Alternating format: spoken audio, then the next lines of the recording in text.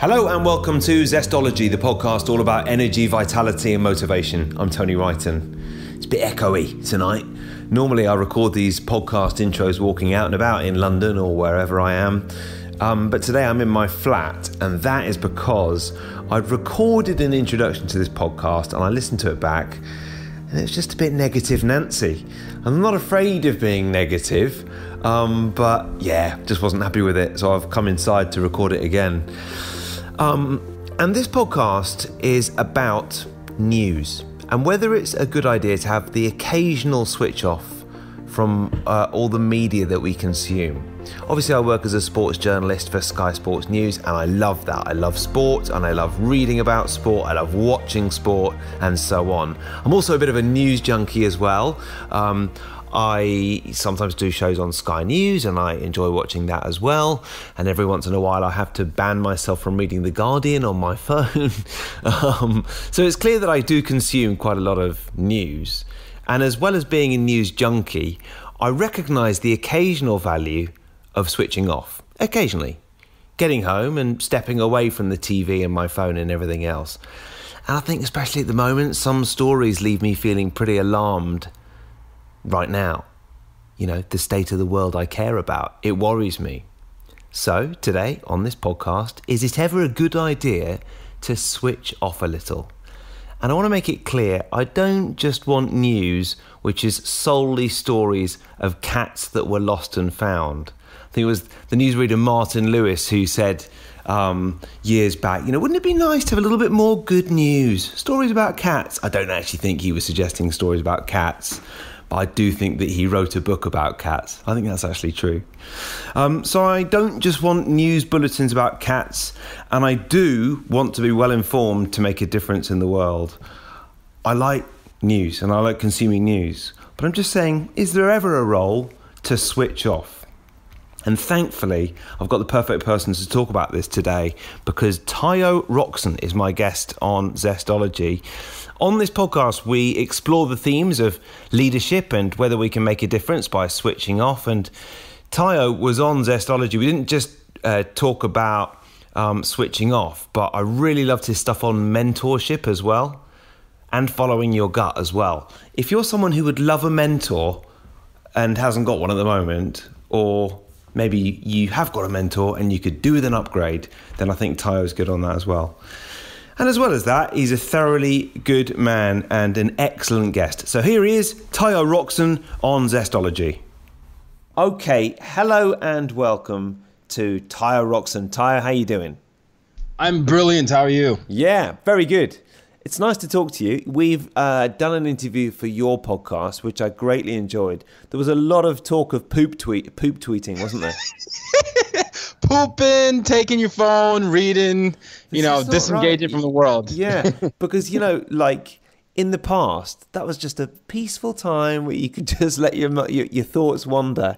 But everyone everyone takes their iPhone now. In fact, isn't there like a massive instance of people drop, dropping their phones down the toilet these days? Because uh... yeah, yeah. No, hey, I appreciate you actually you know calling me out on that because it is. I, I like I said in our interview, I'm so guilty of it and I, you know, I just need to sometimes just take and enjoy the serene moment, you know. That's all you need. Yeah, just enjoy the serene moment.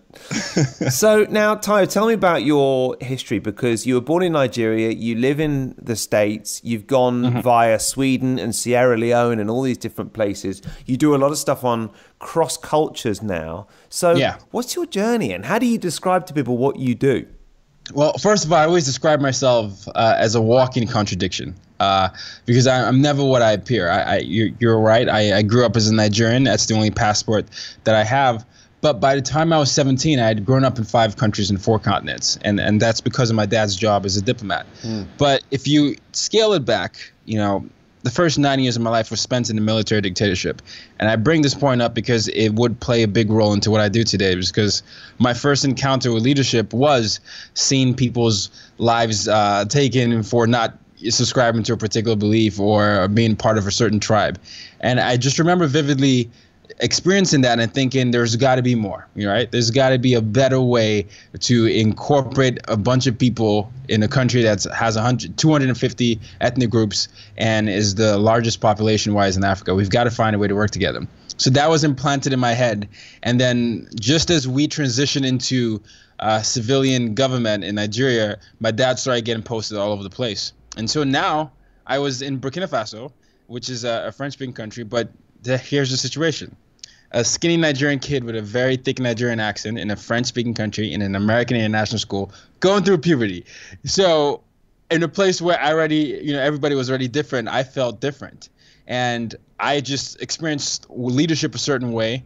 And now I was wondering how to connect across cultures. Mm. And for me, this didn't just become like uh, a thing to just think about. It was the way that I could make friends it was the way that I could I could ask a girl out if I wanted. It was the way that I could succeed in school. And if I didn't know how to do that, um, I would have a miserable time. You know, oftentimes when you talk to people that move a lot, they even they either have one or two experiences. One is they hated it, or the other is they loved it.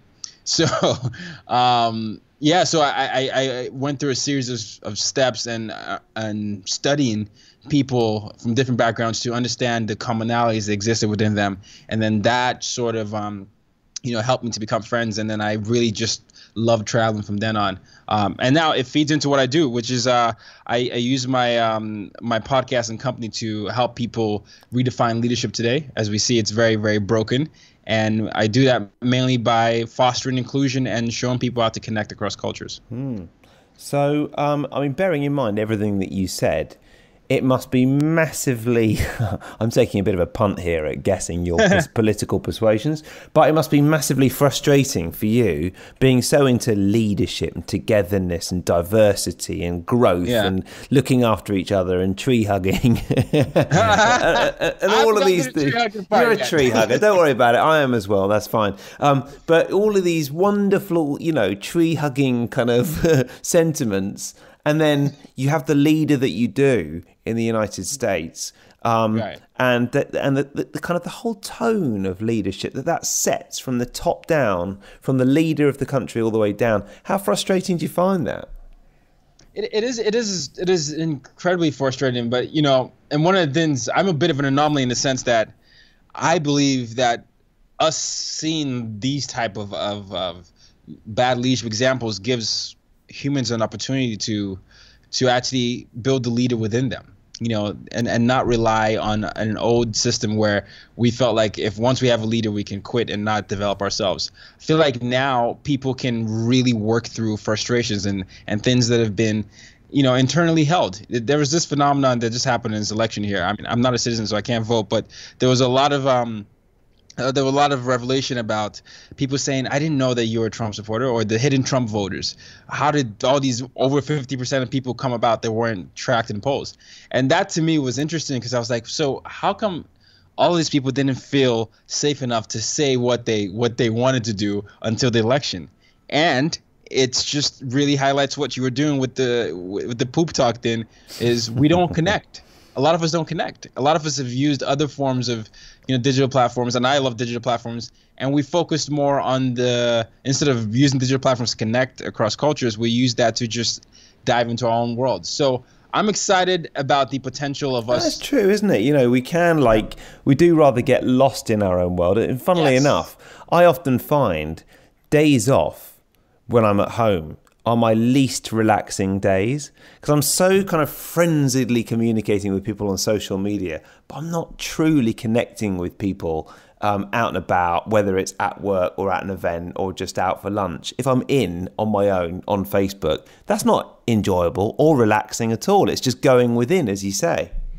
Yeah, no, it's yeah. going within. So I'm I, that's exactly what I'm trying to do. So I'm trying to to get people to understand. Okay, look, we have something that we need to fix, let's work together to fix that. Because now I think the situation that we have arisen in um, in this country and many other countries are experiencing similar types of leadership is that they're starting to realize that the only way to actually succeed is if we figure out how to work together. Mm. Because how we go- how else are we going to actually get oh, to a place so where yeah, yeah but yeah. it's that's uh, I mean I feel you, you can't vote and look well I can't vote for the president either yeah, I, I but he's still his his actions still impact us exactly so um can we influence that but okay, so I'll tell you a story. This is um at the beginning of the year, right after election, I had um a very very uh, sweet little girl. Her name uh, we can't say the name, but she was 13, right?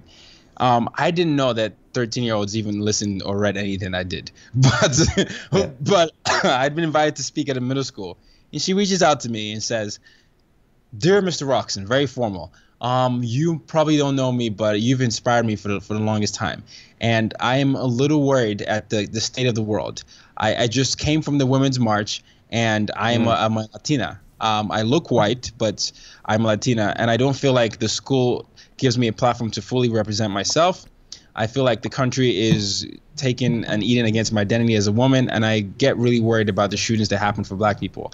Listening to your podcast and, and listening to your stories gives me hope that there is potential for me to actually find a place in this world. She's an American citizen, and it, she said some other things, but she now felt inspired to start her, her own organizations around campus. And we've continued to stay in touch and i was i reached out to her the other day and she's in, in a new school and she's leading this cross-cultural movement and she's helping the curriculum change to have more latina leaders. But that's what can happen from what you and i do where you're inspiring people to understand that okay someone's not for us we are going to be for ourselves and yeah. she's a citizen. She who's to say at 13 what she's gonna do when she's 18, and who she's gonna inspire by then. So yeah, that's why. yeah. No, you're right. You're right. You're you're changing my mind on the whole thing. um, uh, let's look at your business then. Um, you're you're obviously very successful with your entrepreneurship. One of the things I know you're keen on is the importance of mentors, and I've always felt like um, it'd be quite nice to have a mentor, but I don't think I've got one. So, mm. so what's your experience with mentors? Uh, I, I think uh, you know initially. I was like, my mentors were always from afar, like Nelson Mandela, Oprah Winfrey. I was like, I'm going to be mentored from afar from by reading all your books. But I, I think mentors are key. Mentors for me have helped helped me with uh, self awareness because sometimes when you're building a business, you can be in your own world. I'm a very stubborn person naturally, so sometimes I'm like, no, oh, I'm doing the right thing, whatever. But my blind spots uh, sometimes with with uh, mentors and coaches have, have been uh, been helped because I remember when I first started the business um, I I just I my personality is I'm very welcoming but I, I, I couldn't say no. And I would just say no we'll we'll we'll work together as business partners. And even though you don't have the skills I'll just overcompensate and you just understanding my mission is good enough but it was actually detrimental to my business and my I, I had to reach out to a mentor who or sorry a mentor reached out to me to say if you continue to do this you're going to lose every single thing that you, you built. Really? because yeah because i you're you're not building a team to support you. You're building a, team that sucks the life out of you and that doesn't give you um, any time to to develop into the leader that you could be and so for me, mentors have played a huge role in helping me point out blind spots and okay, helping. And, and how how often would you sit down with you? So how many mentors do you have? Do you have like? Because obviously, got, something you, mentioned someone like Nelson Mandela. I get that. You know, like yeah. it, it's easy to take inspiration from people in the public yeah. eye, and you can learn a lot from just reading about people yeah. through books and so on. But you presumably are talking about people who you actually have a relationship with, who True. you speak to.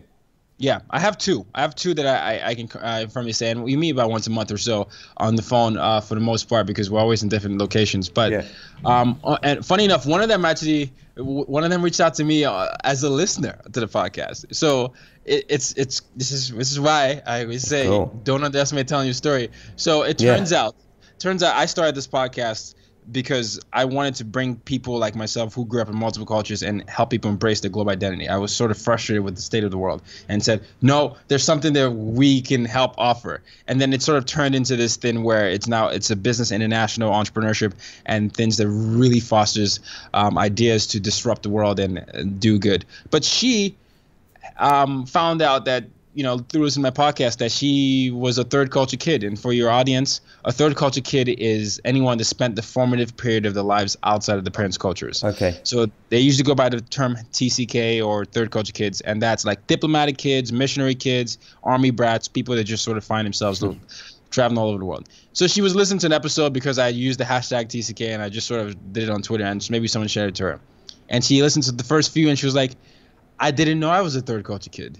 I've been looking for years to figure out why I'm the way I am. I don't quite have a home everywhere. I never felt at home. But listen to your podcast gave me a home. And she's she's in her 40s, you know, and and she was she was older than me, and I was like, man, I didn't realize that it it could reach you know that person. And she said. Yeah. Because of what you did for me, I want to help you out, and I want you to. I want to see how you can turn this into a business. And she just proactively reached out to me because of she felt so connected to the story so th- that was a mentor and I, I when i started the business i had no business acumen. I mean i was just running off passion. I mean i, I didn't know how to i didn't know how to ask for anything that would turn into money or leverage. I was just like ah kumbaya. And and she was like she was like yeah you know this is a good idea to have but you got to learn some of the other basics. Mm. so that's that's how it's been beneficial for me. So with mentors um it's it is quite hard to find them, and you've been very you've been really lucky with that particular mentor. Do you pay your mentors for their time? Wow, yeah, that is I have man. Huh. I don't know that I've paid. There are a lot of coaches. Is coaching count as mentor mentoring? I, I, I mean, know. I guess it's it's however you want to define it. But yeah. do you pay your mentors? I don't pay my mentors. No, they, they so I've been fortunate in that. But I, I know some people that there's like a paid mentorship program. You know, like um, even with us in our industry, podcast, a big podcaster would say uh, some something hundred dollars an hour or something like that for six months for me to mentor you. But I've never paid my mentor. No. How much?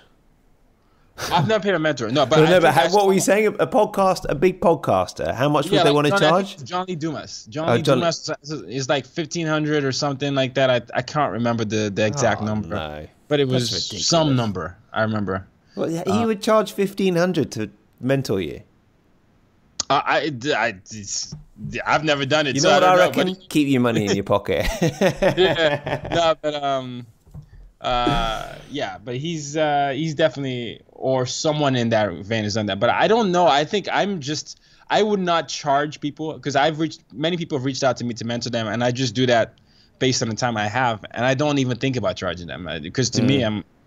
But but you're you're I, a you're a considerate man. You love yeah, to spread the yeah. love and like not, I said, you know, my she works with me on this. I it's to my detriment sometimes. I might be too nice of a person to understand the benefit of that. So mm.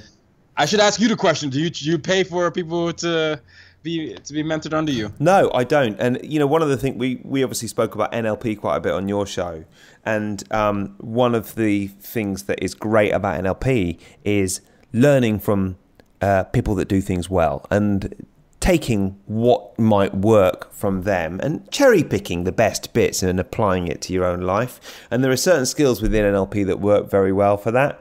And especially, for example, when I got the, the job at the TV station here in London, I did that a lot. I basically picked the presenter that I thought was best learn yeah. all about him, learn what he did well, even down to the things like how he dresses, which makes me sound like a bit of a stalker. But I, you know, I didn't know what to do. I wasn't on TV at that point. I didn't know how to like, you know, tie a tie. Even, you know, I mean, so you kind of got to learn these things, the, the, the basic things like behavior and environment, but also values and beliefs. So in that respect, that's been really helpful, and I've learned from people in the public eye. Do I have a mentor? No. I do have people I look up to, but um, I have used various coaches in the past, but I've always paid for it. Um, yeah, and that's been great. And I guess yeah, if you're not lucky enough, yeah, if you're not lucky enough to have a mentor, maybe a coach would be a good way to go, and you could do that instead, and you, you pay for yeah. it. But um, but one way or the other, I think you're absolutely right. You know, having people around you. I mean, I'm very lucky that I've got one of my best friends runs quite a big um, uh, record label in, in on my street. and he's a great sounding board. And he won't give it much time, but I'll say, What do you think of this? And he'll be like, Nah. but um, but sometimes that that's all it needs, you know. So I'm lucky like that. Yeah, that's yeah. good. That's good. And you should read the book Mastery if you haven't read it by Robert Greene. Ah, um, now that's it. Because one of the questions in the podcast is what is one book that you'd recommend? So you've just come to that a little bit earlier. Why is this such a good book? Oh, Mastery's genius. Mastery's yeah. genius, Tony. It, t- it talks about this. This all we just talked about the fact that um, mentorship can be beneficial, and he what he's doing is he's, he's exploring some of the greatest masters in the world, from Leonardo da Vinci to, to now in current day, and he talked about how they went through apprenticeship and some of it was through having direct mentors some of it wasn't through having direct mentors and and taught, he outlines ways they hacked their way into eventually becoming better than their masters wow uh, and and it is a fascinating read I, I read it as much as i can and so um, I, when you said that, it just reminded me of that because a lot of times people say I'm not in the place where I can just easily call Elon Musk or anything, but he talks about how well who says you have to call Elon Musk? There are ways you can hack that experience and be mentored from afar. So it's great. Yeah, that's really cool. You know what? We're getting into some serious depth now. We started off talking about poop tweeting, but we're now on to uh, Mastery by Robert Greene. This is this is excellent because he's the guy who wrote Forty Eight Laws of Power, isn't he? That's the exact guy. It's the same guy. And, and uh, Seduction or something. The art. yeah, seduction. the art of seduction, yeah. which is quite a controversial book. It is, even though the Forty Eight Laws of Power, he. Uh, uh, he, he, I think he enjoys sparking controversy. Mastery is probably his tamest book. really? So, yeah, but um, yeah, I mean, but you deal with persuasion, so this is probably something you love doing. Yeah, the art of seduction. Uh, the well, no, not the art of seduction, Tayo. I've got a girlfriend. I think well, need to probably make that quite clear. Um, but the, what, what I remember was interesting about Forty Eight Laws of Power is, and I think um, it's written like this kind of ancient, mystical old text that has been discovered from the valleys within. And actually, he's still alive and he's just written it, and it's brilliantly written, but it's not ancient in any way. Am I right about that? Yeah, I mean, I I don't that I don't know. I wish I did. Yeah. That, that's that accent you were doing is something I'm still hung up on. I've got to see that mystery. Go on. Uh, yeah, I don't know. I, don't, don't, don't quite know where that accent came from, but ma- mastery sounds really good. I'm actually just having having a look online. Yeah, move toward resistance and pain. Apprentice yourself in failure, and these are all lessons from people who've been successful. Yeah, yeah, yeah, yeah. Wow. So is that something that you kind of? I'm a massive book geek, and I do I do find that for relaxation, I love fiction and for learning, I love nonfiction. Um, I do find it quite hard to go back to books again and again. I get, um, I will highlight passages and I'll go back to those passages, but to reread a whole book, um, and I'll tell you one book I'm thinking of. I don't know if you've read Neil Strauss's latest book, The Truth. Um, oh no, I haven't. It's on yeah, my list though. Yeah, it's, it's on my list. I mean, there's a seduction theme creeping in here now because we've not only we've been talking about the art of seduction. He was obviously the author of the game, and then he wrote this book ten years later called The Truth, which was kind of like the anti-game. Um, and uh, I definitely recommend it. It's a very thoughtful book and it's quite entertaining as well. And I couldn't read it again. It's like I knew I knew what had happened. I couldn't do that. Um, yeah. So so how do you do that? So I'll tell you what. I, know you do a lot of uh, audiobooks. Audiobooks is the way for me right now. Yeah. Um, yeah. And I, I, I read uh, um, often, but I find that I re I listen to way more audiobooks and and I try to take advantage of those moments where I'm in New York. You're walking on the street. You're doing the laundry. You're in the subway, and you know I, I read it at uh, two times speed or three times speed. Oh yeah, now, yeah, that's brilliant. That's such yes. a good device. A lot of people don't know that exists, but you can just yeah. click a button and it'll play at 1.5 or 2 or 2.5 or 3. And it sounds a bit weird, but you, you get the whole thing, don't you? Yeah, you get used to it. And then so now that, you know, a book that would take me 8 hours I can consume and and for a book like that I love like um, The Alchemist, which is a very short read, you know, you can do that almost basically every day. And since we are podcasters and I and you people say mm. you listen to podcasts an audiobook is just that way. So I've hacked the experience in my head where I just see it as a podcast and I'm taking and retaking information every day. So if I'm reading at two, three, two, three times the speed, I'm not spending as much time as I normally would think that I would spend. And so that that makes it easy. You know, J.K. Rowling's one of my favorite authors. I do that with, with her books. Um, pa- uh, Paulo Coelho, um, for the Alchemist and obviously Mastery. So yeah. Yeah, oh, that's awesome. Yeah, I've def- I've never used that. I've used it once or twice, but I think especially for audiobooks, that's a great way to get through something a little bit quicker. Yeah. Yeah, um, right. Excellent work. Now, what about um, intuition and going in your gut feeling and following your gut? I know you've spoken about this as well, and this is always something that I've got a bit of a problem with. in that, probably I don't I'm not very good at it. I like to be analytical, and I think that many of my successes have not come from following my gut, but quite the opposite. Um, so it's something that I could probably learn from you about, and in general, I probably would be like to be better at following my intuition. So tell me a little bit about how you follow your gut. So I told you the story about me being 10 years old and saying I want to change the world by bringing people across cultures. Yeah. And then I, I graduated from college and I somehow f- fell into this curse of being realistic. and the the realistic the, I being realistic basically is the world telling you that you can't do this because you this. So my thing was the fixed mindset was you you have a for you're a foreigner, you're an international student. What are you gonna do? You can't what build something here. You gotta have an H-1B visa. And so I was like, oh, all right, yeah, you're right, you know. And applying to over 85 jobs and them all saying no, also sort of confirmed that in my head. Like, okay, I've applied to over 85 jobs. They said no. I'm just gonna take whatever job gives me an offer and it ended up being a sales job that I, I didn't think was a sales job when I took the job. Oh. And so now I had a so presumably a job you didn't really want. Oh no, it was definitely a job I didn't want, but I thought I was going to do social media, and then they come to me and say you're doing sales, okay. and you have to make ten thousand dollars a month, and that's your quota. So I was like, great, whatever. Um, and then I, I just sort of fell into that spell. Like I've got to be analytical and all that, and uh, and then a couple things happened. I woke up in cold sweats one one morning around two three in the morning. I was like, I can't believe this is going to be the next sixty years of my life. And I was like, man, I feel like I cheated myself.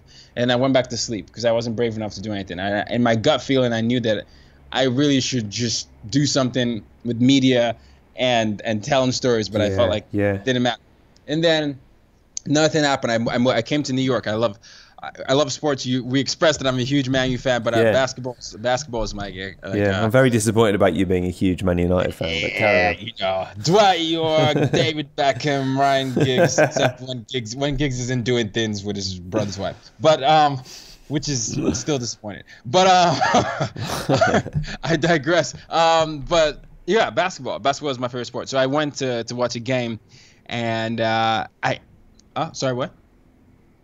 Yeah, carry on. Yeah. Oh, okay. Yeah, yeah. So I, I went to watch a game and it was in the city. I was like, oh, I'm going to use the basketball game to watch, uh, to explore New York City. And I felt so alive, Tony. I felt like, oh my goodness, whatever it is about the city, there's an energy here. I was living in a college town, nothing mm. happened. And now there's a lot of activity.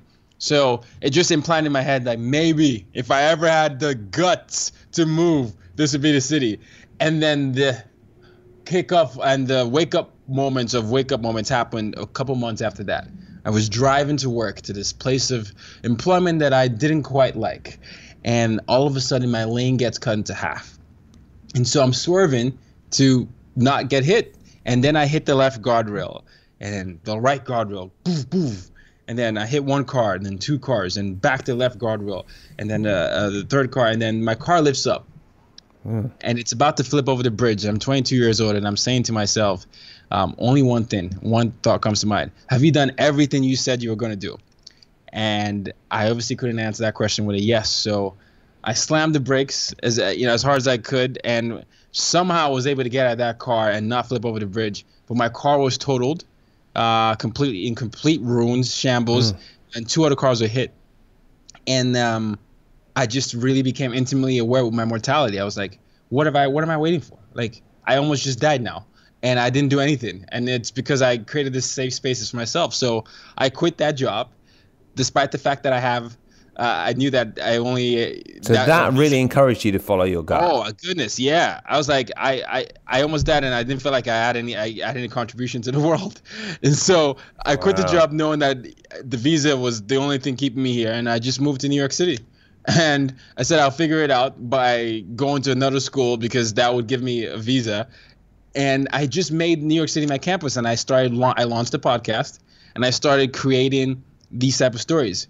And I, throughout my experience in New York City, I've been broke, fired twice, uh, owed the IRS. But the interesting thing, I built a successful company, and all that happened from following the guts. Mm. and I was like, I'm not listening anymore to all that. And you know, there's nothing that happens when you play small. So I just really had to step into that. Yeah. And, so really, that that is play, listening to your gut, and yeah. um, it's not always easy for someone who is kind of a bit analytical and an overthinker like me. And Yeah. perhaps you do sound like a, you know, you're quite kind of, you sound quite easygoing, quite happy. Even when we were talking about Trump on your podcast and on mine, you don't seem to get that. You, you, your, your message is an essentially positive one. Yeah. Um, I mean, I, I think about, you know, and I, you know, obviously your big thing is leadership. I look at the leadership, political leadership around the world, and I despair. Yeah. How do you remain? And I and I analyze it and I think about it. I think this is just a nightmare.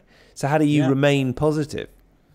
But you know the thing is, I, I get angry a lot. But I, there, it's one of your, one of my favorite people is uh, is actually one of your fellow country ladies is uh Emma Watson, and she she had a talk. on- You really are a big Harry Potter fan, aren't you? Oh my goodness, I'm a, I'm a Ravenclaw. I'm I'm so I've been sorted in the sword net. I have my my my wand and my Patronus. You don't Really? get- you don't want to get me started on this. I am a nerd in anything Harry Potter. That's. I, I mean, I, I like you all the more for this because I think it's like you know, it's it's a brave, red-blooded man who admits to being a huge Harry Potter nerd. Yes, yes. Mm. I'm. This is my masculinity, and I embrace it. And this is me defining it. Yes, I love sports as much as I love Harry Potter. But but she says something. She says something when she was talking about gender equality, which is obviously something that I care about, being diverse and inclusion. And she just ended the, the statement with, "If not us, then who? If not now, then when?" And that's that's what I think about all the time because. I've spent a lot of time being angry and complaining, but I'm like, man, you know, there is something that I can do today to better one person's life. And there is something that I can do now, me intimately knowing that I almost died. If not now, then when? Like we keep thinking that we have more time than we do, and we complain more than we should. And if we substituted those types of thinking with, well, what is one good thing I could do today, and how can I maximize my time, we would be infinitely more successful. And so that's what I try to spend my time doing uh, with with whatever I do. Good Uh, on you. But yeah. Yeah. But hey, but look, th- it it is not easy. It is so much easier to to complain. It's easier to to hate. It's easier to to be any any ism because that's a, an easier emotion. Loving is so much harder because you have Yeah. to overcome the fact that someone could just be rude to you or be bad to you and you still have to love them and that that's that's harder so i understand it They might be rude about your Harry Potter. Um, Oh yeah, oh, I, I get it from all angles. The Manchester United, the Harry Potter, but You know, when I think of Harry. Harry Potter, I just I can't quite bring myself to get fully involved in those books. I think I might have seen one of the movies. You're in the, the. I can't believe you it's don't all like it's all this kind of you know all wispy kind of fantasy and there's like creatures with one eye and all that kind of thing i just can't be bothered um, have you seen this, this there's this film that's out at the moment called mother I haven't seen it yet. yeah, it's, it's it's actually called Mother exclamation mark, and it's like it's a kind of it's a bit more adult than Harry Potter, to be honest. It's very adult from what I've heard. Um, Yeah, it's a kind of horror thriller, but it's supposed to be. But you know, bearing in mind we're just talking about how some people love stuff and some people don't. It is Yeah. supposed to be a film that some people think is unbelievably good. But some people think is the worst movie possibly of all time.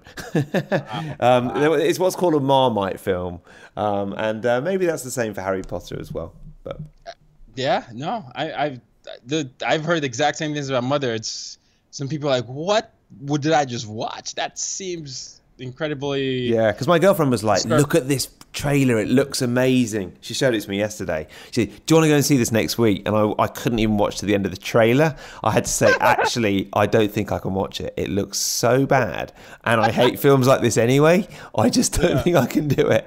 well, yeah, no, that, that that's so funny. No, but no, that's that's it's it's interesting though how we both have different philosophies on that. But that's that's what I ended up doing. You know, my experience as that kid who felt inferior in those different environments because hmm. he had to be different versions of of someone else so that he could meet the expectations of other people. I overcame that growing up in all these cultures, and then. Yeah.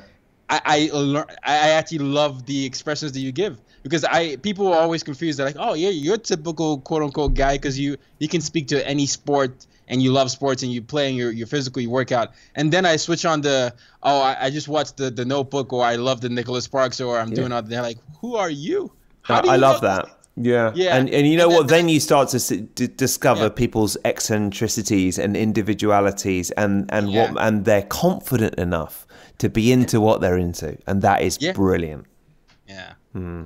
That's awesome. Listen, something I ask everyone, Tayo, is what is one book you recommend? You've done that already, and what is one tip you'd give for living with more energy, vitality, and motivation? So it can be anything. You're obviously a very energized, passionate person anyway. What is your Yeah. one tip for energy? Oh man, man, wow. What is one tip? I mean, So, when you live at your don't best and, and whe- when you have the most energy, what is it that you're doing well? You know, I don't want to say the typical thing like workout because I believe that is do that, but I think practicing gratitude daily. So this is what I do every. I try to do it. I haven't done it in the last couple of days, which makes me sad. But I, um, whenever I wake up, I try to, you know, uh, I try to write things that I want. I'm going to be grateful for for the day, and then when I, when I'm going to bed, I reflect on everything I was actually grateful for for that day. And the only reason I'm doing this is just to stay in a positive mindset because we do live in a lot of negative mindset. So even if it's like um uh I you know I, I helped uh, my brother I sent my brother a funny video or I practiced my daily I met my daily quota of putting a smile on five people's faces. That I have a daily quota of doing that. Yeah. Or I told my mom I love I love her. Just those things keep me and remind me of the, the things that are good in life. And whenever I feel like I'm I'm reminded of the things that are good in life, I'm actually more energized to continue to to either expand that those things that are good in my life or um, make sure that I appreciate the people more around me. Yeah. So just practicing that gratitude, it's as simple as that. Um, yeah. Yeah, You're, you're a nice man, Tayo. You really are. Telling your mum you love her, that is just nice. You're a nice chap. hey, we don't do it. I don't do it enough. She gets, but you know, I just I do that. That's awesome. Uh, seriously, it's been really good to talk to you, and it was really fun coming on your podcast as well. So thank you. Um, Thank you. And where can people find out more about everything you're doing, the cross culture work you're doing, your business, and your podcast as well? It is all at the digital home of tayorockson.com. So T A Y O R O C K S O N.com. And um, yeah, I mean, the podcast, I, I'm getting ready to launch a program on being a thought leader and speaking in audiences. So everything that I'm doing will be on the site. But um, I, I'm, I'm a friendly guy. I love talking to people. So Tayo Rockson everywhere on social media. Uh, I, I don't have, I'm not fortunate to have one of those fancy names that people can have. I'm at underscore something something. It's just Tayo Rockson. So That's uh, good. You're the only Tayo Rockson around. That's great. That's exactly what you want to be. Yeah. You're not Tayo Rockson, you know, 14723. That's brilliant. Um, listen, thank you so much for coming on and hope to speak to you again. Likewise, man. Likewise. And uh, it's been a real pleasure. Yeah. That's it for this week's Zestology from an echoey flat here in central London. Uh, as always, really appreciate you listening to the podcast. If you do like books and you like the book element of the podcast, remember there's a Zestology book club now, which is um, which has got a loyal, a small but loyal following. I like to call it an almost secret book club and that means that it's um, the small amount of members in it doesn't look quite so ridiculous. no, it's growing. It's growing quite quickly, actually. And if you'd like to be a member of the book club, you can be, and uh, just just uh, find it on Facebook and come and join it. So that's the Zestology Book Club. This is the podcast. Very excitingly, I'm going to do what I did in the last couple of years over the next few weeks, and that is have a Christmas special with some of the highlights of the year, some of my highlights in terms of interviews and also things that I've done as well. Um, so that's going to be coming up. Might even do a top 10 of favourite interviews throughout the year. We'll see about that. As always, thank you for listening, and I'll see you next time.